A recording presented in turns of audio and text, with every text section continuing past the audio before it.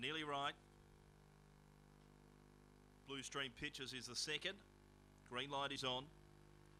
Favourite Rioli off the outside. Racing. Winning the start was Dark Taboo. Away okay was Paisley with Dr. Ziva who drifts back after a good getaway. Monster Machine pushes on. There's Faquo Rioli up the third back to midfield with Spring Rain followed by Dr. Ziva and Paisley. Up the side it's Dark Taboo in front. Deep out Monster Machine. Faquo Rioli tried to push between them then Miss Fab. A couple further back to Spring Rain. Faquo Rioli loom to Dark Taboo. Dark Taboo kicking but Faquo Rioli too strong late beat Dark Taboo. Third across the line was Monster Machine. Miss Fab ran in fourth and fifth in was Spring Rain. A breakaway to Wolfie's Girl. They were followed across by Dr. Ziva and Paisley. 26 and 03 the run.